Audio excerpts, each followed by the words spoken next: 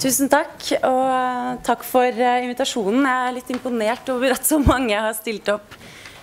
Og det tyder på at dette er et tema som engasjerer, og det er veldig bra. Og jeg må beklage at jeg klarte å holde dere litt på vent, og det skyldtes kombinasjonen av et lite barn og en stor pakke med Fisherman's Friend, så da vet dere det.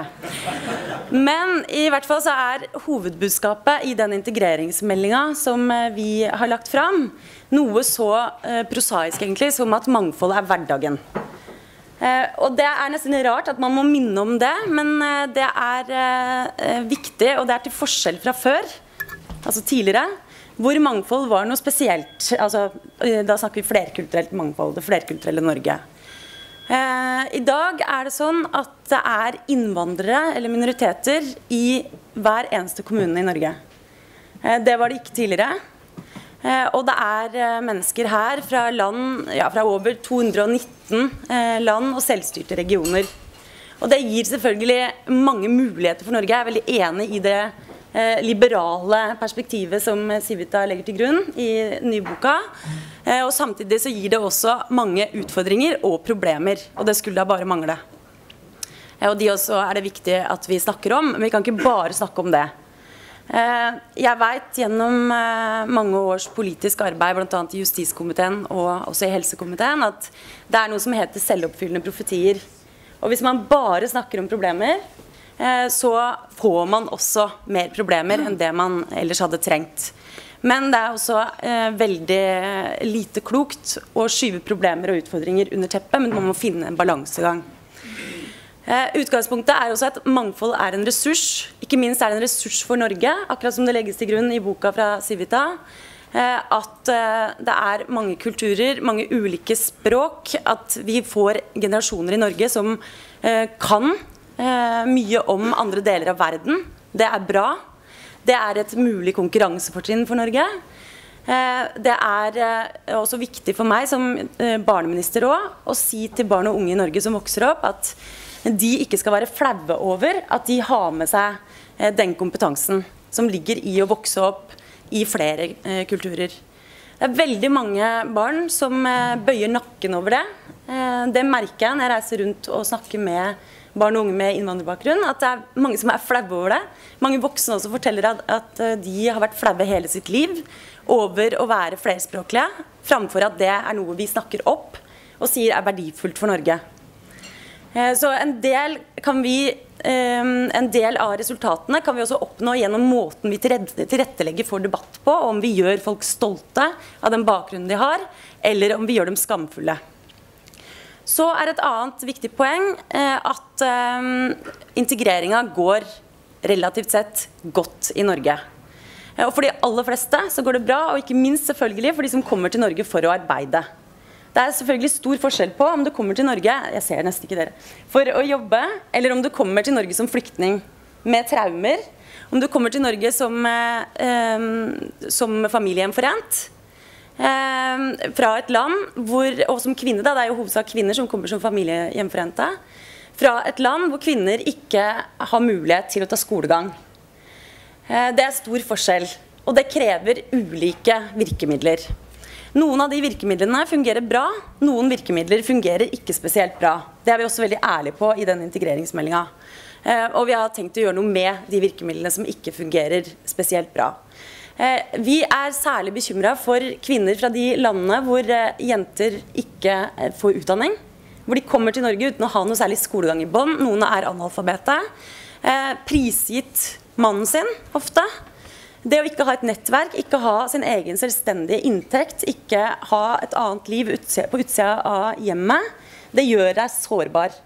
Det gjør deg sårbar for vold, det gjør deg sårbar for fattigdom, det gjør deg sårbar for ensomhet og dårlig helse. Og det er viktig at vi får bedre tiltak for at disse kvinnene skal ha muligheten til å delta på lik linje med andre. Eh, og vi har jo etablert noe som heter Ny sjanse, og som neste år blir omdøpt eh, til Jobbsjansen. Som er et oppsøkende tiltak, særlig retta mot hjemmeværende eh, kvinner. Som har vært hjemme på kontantstøtte gjennom mange år, dessverre. Det har vært en ulykke for integreringa. Det har vært kanskje det største tilbakeslaget for integrering, særlig for kvinner, men også for barn, de siste åra. Eh, og som skal sikre at de får muligheten til å få et fotfeste innenfor arbeidslivet. det fungerer eh, bra. Det kan fungere bedre, men ca. 37% går ut i arbeid etterpå eh, blant hjemmeværende kvinner. Og tallet er enda høyere for ungdom som har gått på sosialhjelp. Eh, det å sikre at vi får en rask bosetting er jo viktig for de som kommer som flyktninger. Det er bekymringsfullt at det er veldig mange som venter veldig lenge i mottak før de kommer ut i en kommune. Og vi ser at det er mange kommuner nå som ikke vil bosette flere. altså De bosetter mange, og de vil ikke ta imot flere. og Det gjelder jo f.eks. Oslo, men det gjelder jo mange andre kommuner også. Bolig, Boligmangel er et problem. Eh, og selvfølgelig også det at eh, norskopplæringa og introduksjonsprogrammene de fungerer ganske bra, men fortsatt har de mye å gå på. Særlig, ja, Det er en del kommuner som skiller seg ut som for dårlige. Og Det igjen gjør jo at flere enn nødvendig blir stønadsmottakere, framfor at de får være aktivt ute i arbeid. Og det igjen, ikke sant, det blir en negativ spiral. Så å få bedre et bedre introduksjonsprogram, eh, bedre norskopplæring, og da særlig med klare ambisjoner på vegne av kvinner, sånn at ikke man tenker at disse kvinnene skal jo uansett være hjemme. Disse kvinnene skal ikke ut i arbeid, de kommer til å være hjemme med mange barn likevel. Det er en uakseptabel tilnærming. Vi må høyne ambisjonene og forventningene på vegne av disse kvinnene. Um, og Da legger vi også opp til um, uh, stimuleringsmidler. Vi legger om noen av tilskuddene til kommunene, så at de kan søke for å forbedre sine egne introduksjonsordninger, og særlig norskopplæring. Fafo har jo også gått inn og sett på dette og ser at uh, forventningene og ambisjonene på vegne av kvinnene er for dårlige, og at man bl.a. har for lite intensiv norskopplæring for disse kvinnene. For oss i regjeringa er det særdeles viktig at uh, integreringspolitikken og den generelle fordelingspolitikken henger sammen. Å bekjempe klasseskiller er helt avgjørende. Høy fagorganiseringsgrad, hindre sosial dumping, utnytting av folk på arbeidsmarkedet. Vi ser jo at det er veldig mange med innvandrerbakgrunn som blir veldig utnytta. Du risikerer å få et A- og et B-lag på arbeidsmarkedet med fare for utstøting, utstøting og utnytting. Det er helt uakseptabelt. Ehm, det å tilrettelegge for universelle ordninger hvor ulike barn møtes, ha en boligpolitikk som ikke bare overlater til markedet eh, om folk skal kunne få en bolig, og hva slags type boliger som skal tilbys. Sånn at vi får gode oppvekstmiljøer. Det er også viktig for oss. Og Vi ser også at eh, bolig som sagt, er en barriere for at kommunene skal bosette. Eh, og Derfor er det også viktig at vi får bedre ordninger i Husbanken. Vi skal gå gjennom det òg. Eh, jeg er opptatt av, og vi er opptatt av, at vi skal, ha, vi skal særlig sikre gode oppvekstvilkår for barn.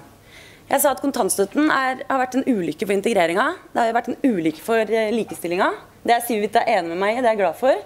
Uh, og Åsmund Kallheim i Drammen, uh, som er rådmann nå, og som er leder for integreringsutvalget, mulig han er her også, har sagt det at i vår kommune så er kontantstøtten faglig uforsvarlig.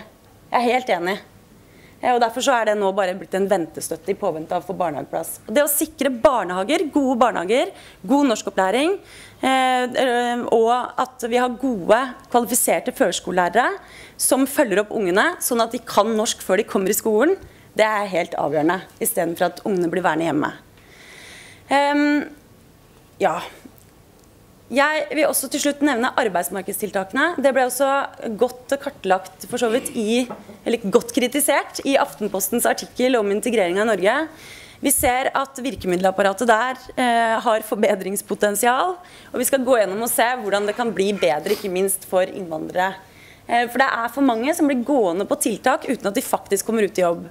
Og En påpekning som ble gjort eh, av en serbisk kvinne som var intervjua i Aftenposten, var jo at eh, Eh, det forutsettes jo egentlig at vi har nettverk når vi kommer inn i disse eh, oppleggene. Men vi har jo ikke nettverk. Og, det er det som, og vi må skaffe vår egen praksisplass, men vi klarer jo ikke det når vi ikke har nettverk. Og det er det som er bra med bl.a. Uh, Jobbsjansen eller Ny sjanse, det er at vi da følger opp veldig tett. Det med tett oppfølging er fryktelig viktig for at flere skal klare å skaffe seg en fot innafor. Og, og helt til slutt, diskriminering er fortsatt et problem i Norge. Det er 25 eh, større sjanse for at du ikke blir innkalt til jobbintervju hvis du har et, eh, et, eh, navn som du ikke kjenner så godt igjen fra kanskje der du bor i den kommunen du bor, spesielt hvis du bor på Oslos vestkant, kanskje. Og Det eh, gjør at eh, en del altså ikke får mulighet til å vise sine kvalifikasjoner i det hele tatt. Så Diskriminering har et effektivt apparat for å håndheve diskriminering. Eh, og føre en debatt som ikke gjør at vi får selvoppfyllende profetier i den andre enden, hvor man bare tenker at alle innvandrere bare representerer trøbbel og problemer, det er kjempeviktig. Ok, takk.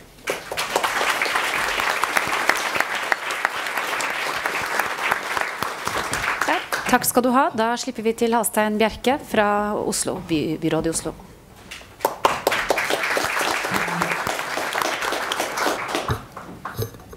God morgen. Hører dere meg? Ja? Dere er våkne?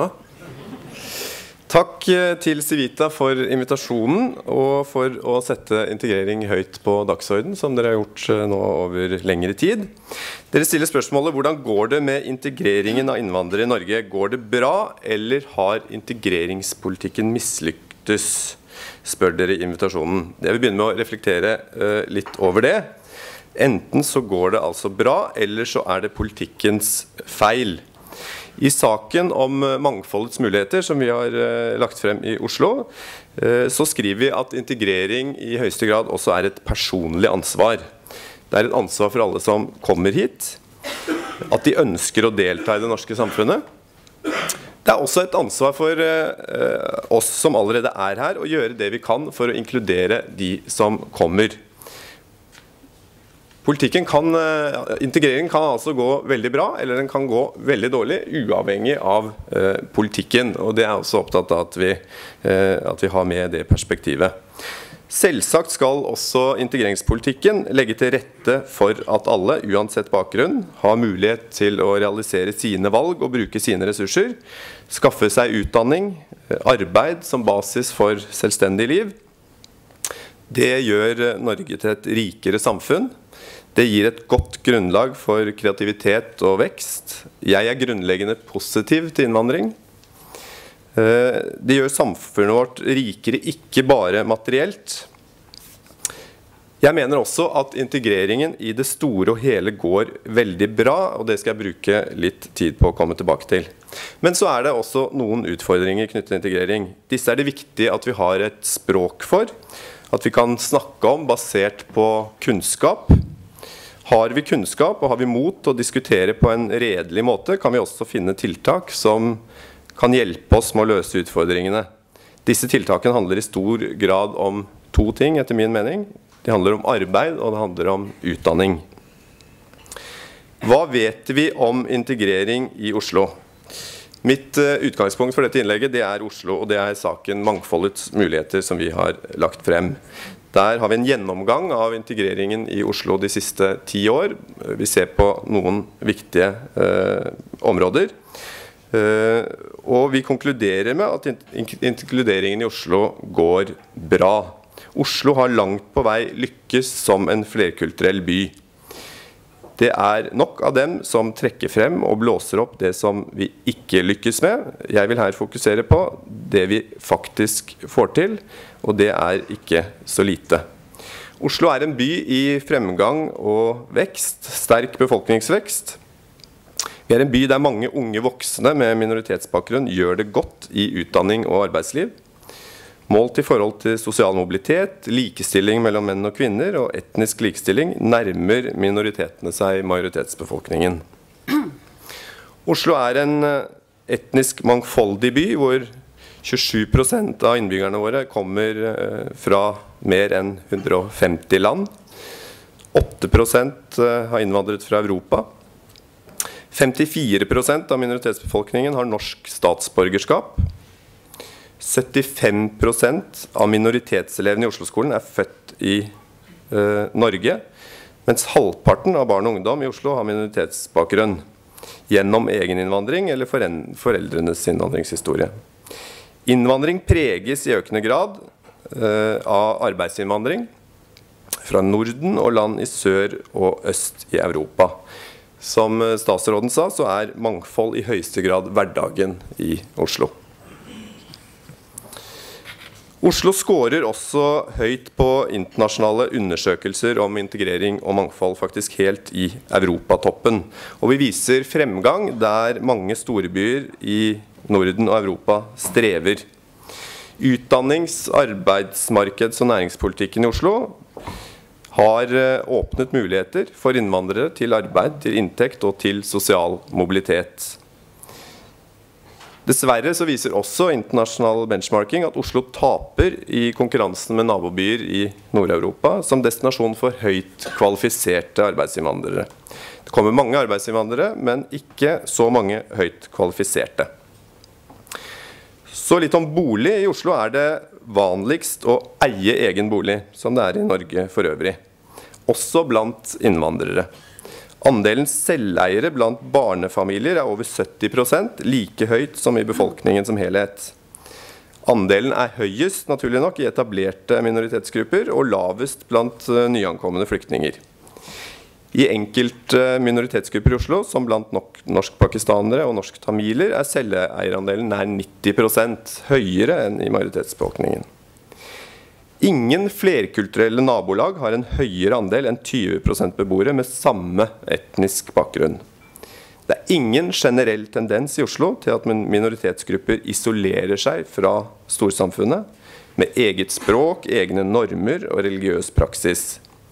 Med andre ord, selv om vi har boligområder i Oslo med stor andel minoriteter, har vi ikke en segregert by. Her skiller vi oss også positivt fra våre nordiske nabostorbyer. Eh, Nabolag i eh, øst i Oslo, hvor minoritetsbefolkningen er konsentrert, oppleves av de som bor der selv, som gode områder å bo og vokse opp i. De økte minoritetsandelene i de ytre bydelene har betydd en betydelig levekårsvekst for familiene som har flyttet dit fra leiegård i sentrum til borettslagsleiligheter og selveide rekkehus i Groruddalen og Oslo sør. Både majoritets- og minoritetsfamilier følger boligkarrieren og kjøper bolig av bedre kvalitet i områder hvor beboerne har høyere inntekt og utdanning. Boligprisvekst gir velferdsvekst og den har ikke bare vært forbeholdt majoriteten. Så om eh, det jeg kanskje mener er det viktigste skole og arbeid. Jeg mener det er nøkkelen til en god integrering. Og på skoleutdanningssiden skole- så er også tallene gode. Norskfødte minoritetselever fullfører videregående skole i samme grad som majoritetsungdom. Både ungdom som har innvandret selv, og barn av innvandrere er overrepresentert i de såkalte prestisjestudiene ved universitetene. Andelen studenter blant norskfødte minoritetsungdom er 35% mens den er 30% blant majoritetsungdom. Unge kvinner med minoritetsbakgrunn tar utdanning og deltar i arbeidslivet i langt større grad enn det deres mødre gjør. På arbeidssiden så er også tallene positive. Innvandrere som har kommet til Oslo og østlandsområdet som sesongarbeidere i jordbruk eller midlertidig ansatte i bygningsbransjen, har etter få år fått seg ordinære jobber, etablert seg med familie og kjøpt seg bolig. Sysselsettingen blant arbeidsinnvandrere er like høy og til dels høyere enn i majoritetsbefolkningen. I 2009 var den 71% blant arbeidsinnvandrere, Blant flyktninger er graden av sysselsatte selvfølgelig lavere, med 55% men variasjonen minker over tid. Og flyktninger med bakgrunn fra land som Chile, Vietnam, Sri Lanka, Etiopia og Bosnia er sysselsatt på lik linje med majoritetsbefolkningen. Målt i forhold til sosial mobilitet, likestilling mellom menn og kvinner, etnisk likestilling, så nærmer minoritetene seg majoritetsbefolkningen. Dette kan hele byen være fornøyd med og stolt over. Oslo preges mer av sosial jumping enn av sosial dumping. Vi er ikke i mål når det gjelder skole og arbeid, men vi er kommet langt. Minoritetselever er mer utsatt for mobbing og vold pga. etnisk bakgrunn og religion. Vi vet også dessverre at eh, utenlandsk navn reduserer sannsynligheten for å bli innkalt til jobbintervju.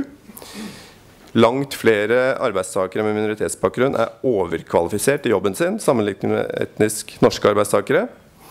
Og sysselsettingen overall er noe lavere, 61% mot 71% Arbeidsledigheten er noe høyere, 6% mot 2% Allikevel så er det et svært godt tegn at minoritetsungdom med høyere utdanning har like gode utsikter til å få jobb som majoritetsungdom. Da skal jeg begynne å avslutte. Politikernes rolle gjennom stat og kommune er å legge til rette for at alle, uansett bakgrunn, skal ha mulighet til å realisere sine valg og bruke sine ressurser. I saken 'Mangfoldets muligheter' har vi satt opp vel 40 tiltak for å styrke integrerings- og mangfoldspolitikken i Oslo. Oppsummert handler tiltakene om at de kommunale tjenestene i Oslo og den kommunale personalpolitikken skal virke like bra, ha like gode resultater, uavhengig av hvilken bakgrunn du har. Det skal gjelde for utdanning, arbeid og bolig, og hele spekteret av tjenester fra barnehage til sykehjem. Først og fremst trenger vi tiltak som gjør at flere søker jobb, og flere får jobb når de søker. Vi trenger ikke først og fremst tiltak hvor arbeidssøkere lærer å søke jobb, eller kvalifisere seg for å søke jobb, uten faktisk å være i nærkontakt med en eneste arbeidsgiver. Oslo kan være stolt av å ligge i europatoppen i integrering. De fleste innvandrere gjør det bra i Oslo, og barna deres gjør det enda bedre. Borgere med ulik etnisk, kulturell og religiøs bakgrunn har alle de samme grunnleggende rettigheter, plikter og ansvar. Innbyggere med en internasjonal bakgrunn er en ressurs for byen. Integrering handler om deltakelse og relasjoner i skoleklasser, på jobben og i nabolaget. Byen er avhengig av åpenhet og engasjement fra vanlige byfolk, både majoriteten og minoriteter, for å lykkes som en flerkulturell storby. Oslo har kommet langt i arbeidet for mangfold og etnisk likestilling, og er en by åpen for mangfoldets muligheter. Takk for oppmerksomheten.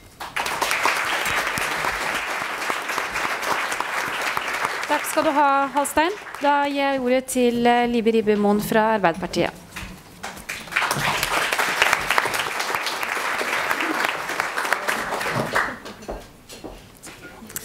God morgen, alle sammen. Eh, det er godt å være i et panel med Halstein Bjerke uten å diskutere Munch-museum. Jeg begynner å bli ganske sliten av å diskutere Munch-museum. Så da er det godt å eh, snakke om integrering. Eh, eh, ved kommunevalget i fjor, så eh, dagen etter valget, så var det ett spørsmål som jeg fikk fra alle journalister. Og det var da hvordan skal denne bystyregruppa fungere med 11 av 20 med innvandrerbakgrunn? Da svarte jeg at eh, for å si det sånn, jeg tror det er et større problem at det er fem fra Søndre Nordstrand i denne bystyregruppa, enn at det er elleve med eh, innvandrerbakgrunn. For hva skulle de ha felles, bortsett fra at de en eller annen gang, eh, kanskje etter at de var født, eller før de var født, hadde kommet eh, til Norge. Eh, hva har en fra Benin eh, til felles med en fra Mogadishu eh, eller fra Islamabad? De er valgt på samme program. De har ulik bakgrunn. Noen er født der, sånn som Prablin Kaur f.eks som jo ble kåret til årets uh, nordmann i fjor. Kanskje enda høyere stjerne, i hvert fall i Arbeiderpartiet, var at hun ble kåret til årets uh, Groruddøl. Men det er i Arbeiderpartiet, da. Eh, men grunnen til at jeg sier dette, er jo at det, når man spør hvordan det går med integreringen i Norge, så vil jeg gi noe av det samme svaret. For det, det, er jo avhengig av hvem som kommer, hva de bringer med seg, hvordan de blir møtt, og hva de vil. Hvis du spør professoren eh, som du møter på en ambassade, eh, som har innvandret i voksen alder, så vil du få én historie. Spør du en irakisk eh, kvinne eh, som har kommet eh, til Norge på familiehjemforening, så vil du sannsynligvis få en helt annen historie. Sånn at det er jo avhengig av din egen eh, situasjon og din egen livshistorie. For integrering det er jo ikke noe som skjer kollektivt. Integrering er jo noe som skjer eh, individuelt. Eh, å flytte til et annet land det krever sin eh, mann eller kvinne. Og jeg tror mange undervurderer eh, hva det faktisk kreves av innsats for å etablere seg i et nytt eh, land og at man lett undervurderer hva som skal til. Generelt sett så vil jeg si at Norge er et land som gir mange muligheter. For i hvilket annet land kunne Akhtar Chaudhry blitt visepresident? Norge er et land som gir mange nye muligheter. Jeg, I går kveld, jeg har vært på nominasjonsmøte hele går kveld, så jeg, lurte litt på jeg, hvordan jeg skulle forberede meg. Eh, og jeg ledet jo Arbeiderpartiets integreringsutvalg i 2004. Så jeg fant fram eh, det dokumentet eh, for å se om det fortsatt eh, sto seg. Eh, og jeg skal innrømme, siden jeg ser noen fra departementet her, noen områder har jeg faktisk forlatt. Mens andre eh, områder eh, står jeg fortsatt, eh, fortsatt ved. Eh, kanskje det viktigste som eh, Arbeiderpartiet representerte, og som har bidratt mye til den integreringspolitikken som vi har i dag, var nemlig at man så sammenhengen mellom velferdspolitikken arbeidsmarkedspolitikken, integreringspolitikken og innvandringspolitikken. De grepene som eh, denne regjeringen eh, har tatt, har vært eh, veldig riktig. Man satte i gang med gratis kjernetid. Eh, man utvidet eh, eh, utvidet hvem som skulle få rett til introduksjonsprogram de som kom på familie, ble familiegjenforent med folk som fikk opphold på humanitært grunnlag, hadde i 2005 ikke rett til et introduksjonsprogram. Eh, man utvidet antall timer som eh, man kunne få norsk- og samfunnsfagundervisning fra 3 til 600 timer. Man endret familiegjenforeningspolitikken for å fremme integrering og eh, arbeidsdeltakelse ved at man stilte nye krav om at hvis man skulle få familiegjenforening, så kunne, skulle man ikke ha mottatt sosialhjelp året før. Man stilte krav om arbeid eller utdanning for unge mennesker for å få rett til eh, familiegjenforening. Og man skjerpet også kravet at man ikke kunne ha mottatt sosialhjelp eh, siste året, før man eh, fikk da rett til familiegjenforening. Alle de grepene bidro til større aktivitet, deltakelse og dermed bedre integrering. Eh, I tillegg så er det jo en klar sammenheng mellom antallet som kommer, og hva vi kan tilby. Det forutsetter at man har en restriktiv innvandringspolitikk, men som også er rettferdig. Jeg har vel blitt framstilt som jeg var veldig eh, streng på innvandringsfeltet. Men sannheten er jo også at man tok andre grep som innebar en liberalisering. Man liberaliserte på sett og vis eh, arbeidsinnvandringspolitikken ved at man åpnet i større grad for at folk som var fagutdannet, skulle ha mulighet til å, å komme til Norge for å eh, arbeide. I tillegg det at man koblet velferdspolitikken og integreringspolitikken og arbeidsmarkedspolitikken, gjorde også at man innførte kvalifiseringsprogrammet. Som er et viktig grep for å få folk ut i arbeid. Så på mange måter så mener jeg at man har lykkes mye i integreringspolitikken. Samtidig så har jeg lyst til avslutningsvis å eh, nevne tre store utfordringer. Brochmann-utvalget har veldig mye bra for seg. Fordi grunntanken om at velferdsstaten eh, for at den skal være bærekraftig, så er vi avhengig av en høy sysselsetting. Og det er eh, utvilsomt noen grupper, særlig fra Asia og Afrika, som har en altfor lav sysselsetting. Det å greie å etablere nye målretta arbeidsmarkedstiltak som innebærer at færre går fra tiltak til tiltak, slik som det skjer i dag, tror jeg er utrolig viktig. Man må fjerne incitamenter som bidrar til passivitet framfor aktivitet. Statsråden her har nevnt kontantstøtte, og det kan jeg bare eh, underskrive på. At kontantstøtten er direkte integreringsfiendtlig og bidrar til å holde kvinner utenfor arbeidsmarkedet, og dermed også indirekte bidrar til at færre bar, barn går i barnehage.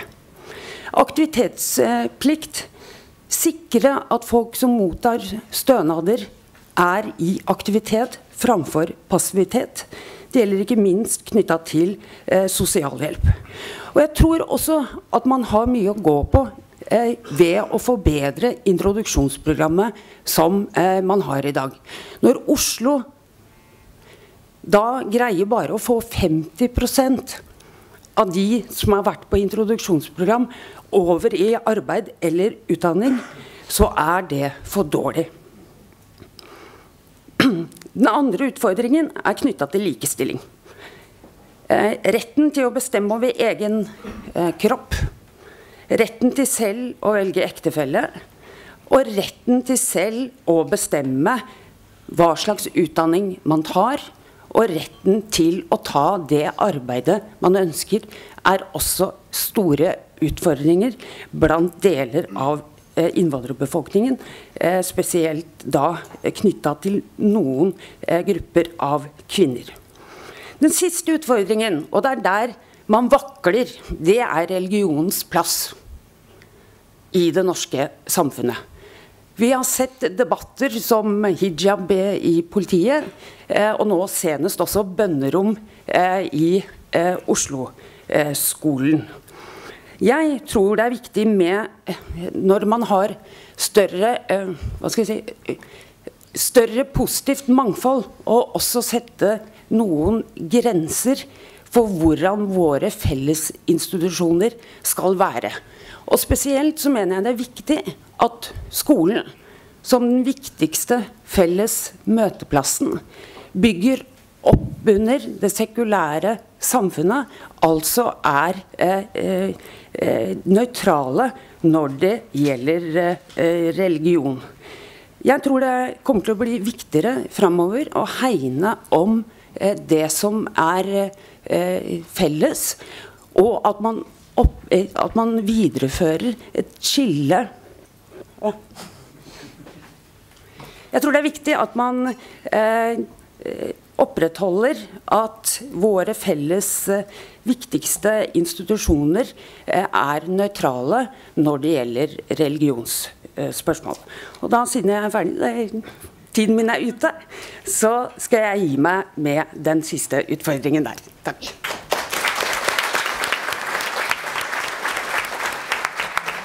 Takk skal du ha. Da, mens eh, Tina Shagufta Kornmo nå snakker, så er det mulig for salen å tegne seg for spørsmål. Dere kan gi meg et uh, signal, og i utgangspunktet så kommer vi til å ta ett og ett spørsmål. Så da kan dere gjøre det mens hun snakker diskré.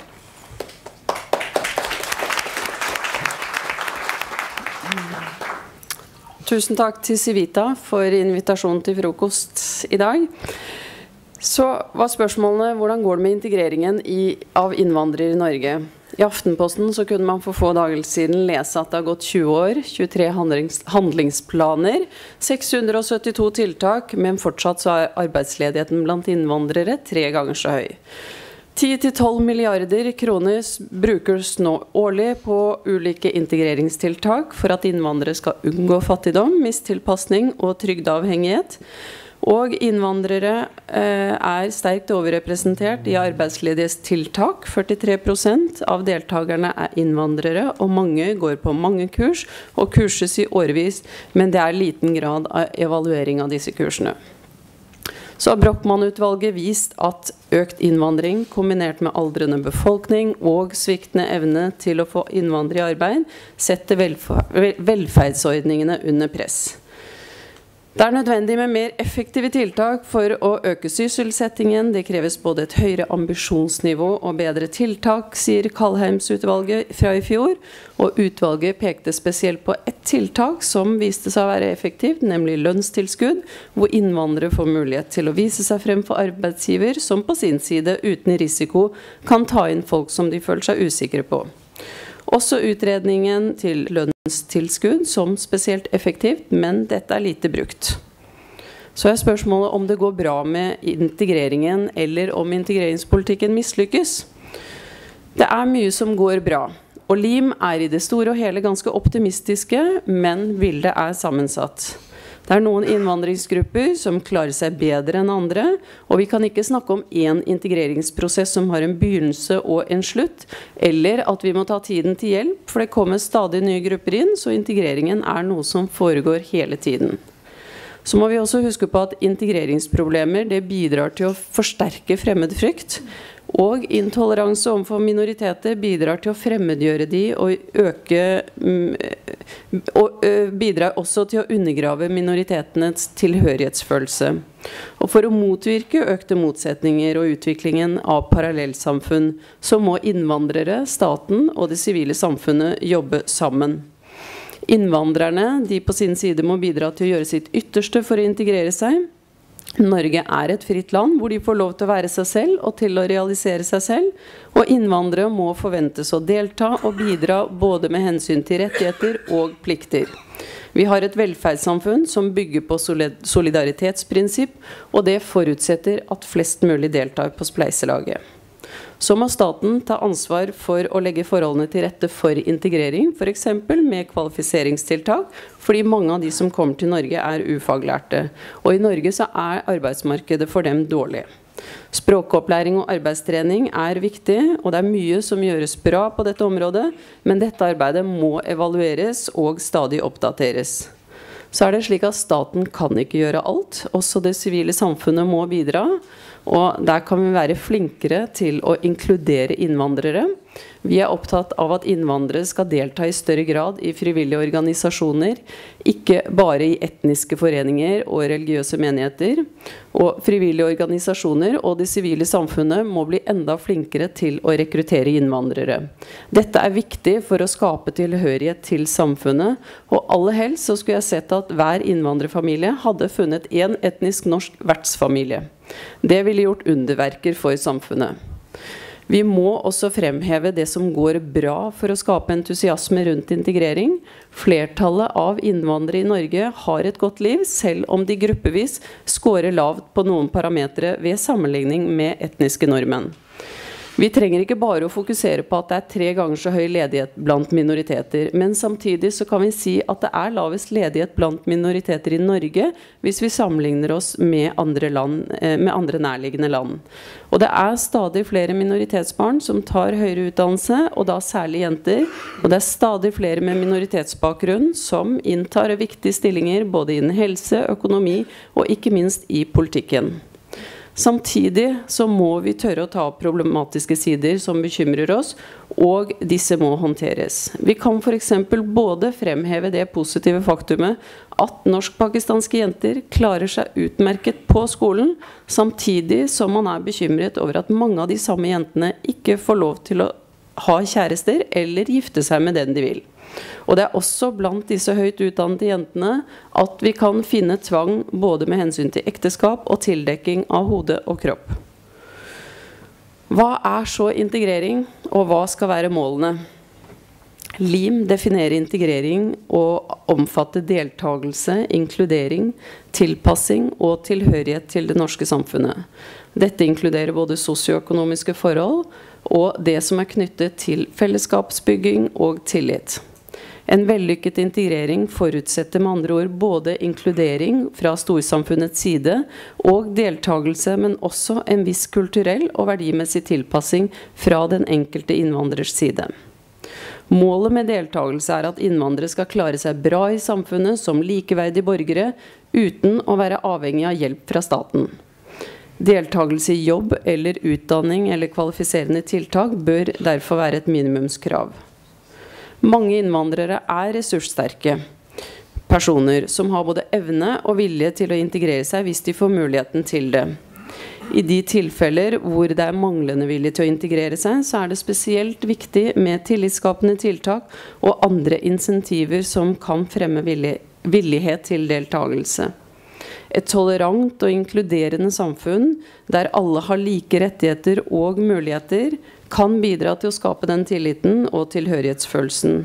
Og Erfaringer og eksempler fra USA viser at mennesker gjør sitt ytterste for å tilpasse seg og klare seg hvis de bare må. Dette er ikke et argument for å avskaffe velferdsordninger, men for å finne mer kreative og treffsikre insentiver. Systemer som passifiserer innvandrere, bør derfor revurderes. Nå er deltakelse en forutsetning for integrering, men i seg selv så er ikke det tilstrekkelig for å oppnå målet med integrering. For at samfunnet skal forbli ett, og ikke utvikle flere parallellsamfunn, så er det nødvendig med noen grunnleggende felles normer og verdier som alle slutter seg til og retter seg etter. Et fellesprosjekt det styrker både lojaliteten og tilhørigheten til fellesskapet. Det bør derfor forventes en viss tilpasning, en viss kulturell og verdimessig tilpasning fra innvandrere som kommer fra kulturer som er tradisjonelle og kulturelt konservative samfunn. Noen uønskede tradisjoner kan vi selvsagt forby ved lov, sånn som kjønnslemlestelse eller tvangsekteskap, men det er vanskeligere å gjøre noe med de ting som er sterkt uønsket sett fra et liberalt perspektiv. F.eks. det at noen barn blir tvunget til å gå med hijab i barneskolen, eller at de blir sendt til hjemlandet for å gå på skole der fordi foreldrene er redd for at de skal bli for norske. Det er viktig med en synlig verdikamp for å motvirke illiberale tradisjoner, og i kampen mot patriarkalske holdninger så må flere liberale stemmer frem. Det må også forventes at innvandrere retter seg etter kjerneverdier knyttet til rettsstatens prinsipper, sånn som likestilling og menneskerettigheter. Dette er et minimumskrav som samtidig ivaretar retten til å være forskjellig. Så hovedformålet med integrering må være et fredelig og inkluderende samfunn der alle individer har rett til å leve i frihet og verdighet. Så var det tiltak. Hva slags tiltak kan vi iverksette for at innvandrere skal bli bedre integrert? Det er mange tiltak som vi sikkert kan ta underveis under, under debatten. Men det at alle innvandrere får seg en etnisk norsk vertsfamilie, tror jeg gjør utrolig mye for kulturell tilpassing. Også i forhold til arbeid så har, jo, eh, har det jo vist seg at lønnstilskudd det er positivt både for arbeidssøker, arbeidsgiver og ikke minst samfunnet fordi det motvirker passivitet. I forhold til språk så er det viktig å styrke norsk som førstespråk i minoritetstette områder. Og når det gjelder utdanning, så er det bra at jenter gjør det bra, men gutter må ikke bli hengende etter. Det er viktig at også gutter blir dratt ned i den positive utviklingen. Eh, og der det er behov for det, hvor det er ressurssvake familier, så mener jeg at foreldre bør også få rådgivning, ikke bare elever. Eh, det har jeg for øvrig skrevet et innlegg i VG om i går. Når det gjelder oppvekst, så er det viktig at hjelpeapparatet har flerkulturell kompetanse. Uh, og at de har språkkompetanse. Det er kjempefint at minoriteter blir rekruttert. Det er også viktig at etniske nordmenn lærer seg andre språk, dvs. Si urdu, arabisk. Det er også nyttig, fordi den dobbeltkommunikasjonen som av og til kan forekomme, den kan man da forhindre.